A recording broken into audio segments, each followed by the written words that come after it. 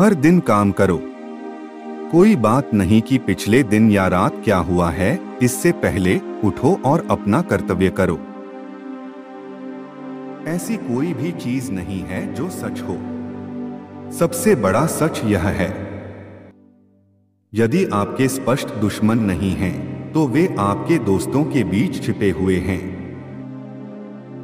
इंसान हार के लिए नहीं बना है, इंसान को तोड़ा जा सकता है, लेकिन हराया नहीं जा सकता। कभी भी यह न सोचें कि युद्ध चाहे कितना भी आवश्यक हो और कितना भी उचित क्यों न हो, अपराध नहीं है। यदि कोई व्यक्ति मित्रों की तलाश नहीं कर रहा है तो वह अपना दुश्मन है। एक बुद्धिमान व्यक्ति को कभी कभी मूर्खों के साथ समय बिताने के लिए नशे में धुत होने के लिए मजबूर किया जाता है।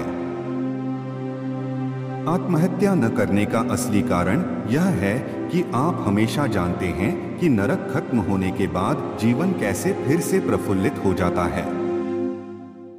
ऐसी बहुत सी महिलाएँ हैं जिनके साथ आप सो सकते हैं और बहुत कम महिलाएँ हैं जिनके साथ आप बात कर सकते हैं।